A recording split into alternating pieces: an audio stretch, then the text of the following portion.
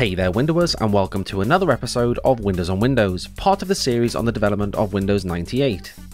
In this episode we'll be taking a look at Windows 98 build 2222A, the official final build of Windows 98 2nd edition, compiled on the 23rd of April 1999, and less than one year after the release of the original Windows 98. This build fixed many bugs identified in the original release of 98, as well as many updated system components such as new versions of Internet Explorer, Outlook Express, and more. So without further ado, let's take a look and let's start.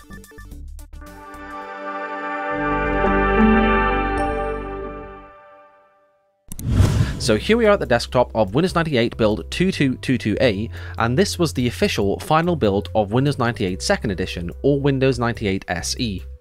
Now SE was originally meant to be released as an update to the original Windows 98, firstly as the Windows 98 Multimedia Update or Multimedia Update 1, and later as Windows 98 Service Pack or Service Pack 1.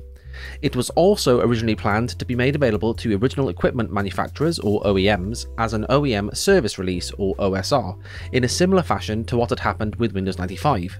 Now because of this, early builds of what would become Windows 98 SE called themselves variously Windows 98 Multimedia Update and Windows 98 Service Pack and had to be installed on top of Windows 98 First Edition which was, remember, build 1998.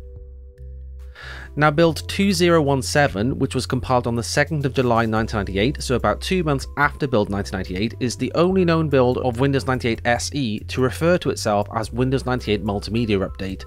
Then quite quickly, Microsoft appears to have changed plans, with build 2088, compiled on the 21st of October 1998, so about three months later, thought to be the first build to call itself Windows 98 Service Pack. Now by build 2106, which was compiled just under a month after build 2088, are you still with me? On the 18th of November 1998, the references to Windows 98 Service Pack within the builds had been removed, which indicates again another fairly quick change of strategy from Microsoft. Now build 2106 calls itself simply Windows 98 within the build itself, however it's interesting to note that on the CD itself that the build was distributed to developers on, it's called the OEM Service Release 1, so apparently there was still no finalization on the name 2nd edition at this point. Now the first build that we know of that is definitely referred to as Windows 98 2nd Edition is build 2183A, compiled on the 3rd of April 1999, so about 5 months after build 2088. And the name Windows 98 2nd Edition can be found in this build just like it would be in the final release. And around three weeks later, on the 23rd of April 1999, Windows 98 2nd Edition was finalised and released to manufacturing, so all in all, a very quick development process, although apparently a bit of uncertainty on what to actually name the end product.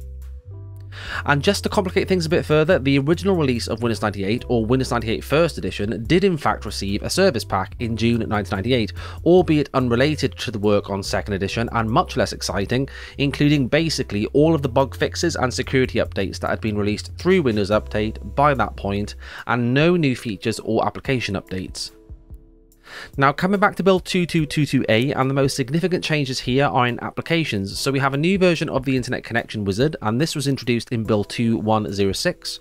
We also have a renamed and updated media player now called Windows Media Player which I'm sure you'll be familiar with. So this is now version 6 and was introduced in build 2106, although the name Windows Media Player came slightly before that in build 2017. Also, there are updates for Internet Explorer and Outlook Express, both now moving from version 4 in first edition to version 5, beginning with build 2017, with the latter also having undergone a UI redesign in build 2106. We also have a new version of NetMeeting included, which is version 3, and finally a new version of DirectX version 6.1, whereas first edition had shipped with version 5.2. Of the very few changes elsewhere, the only significant ones are all in Windows Explorer. So firstly, web folders are finally here. Now for some reason I had it in my head in earlier episodes that these came with first edition, but like I said in that video, I was actually wrong and it was second edition where they were introduced as you can obviously see here. And finally, there is now marginally smaller spacing or padding between toolbar buttons in Windows Explorer compared to in 98 First Edition.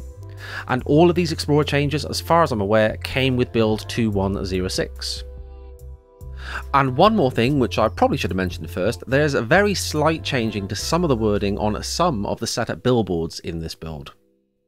And that's everything that I've discovered in build 2222A, and with that, we say a fond farewell to Windows 98 and to this series of videos. So as usual, let me know if you find anything yourself in this build that I may have missed.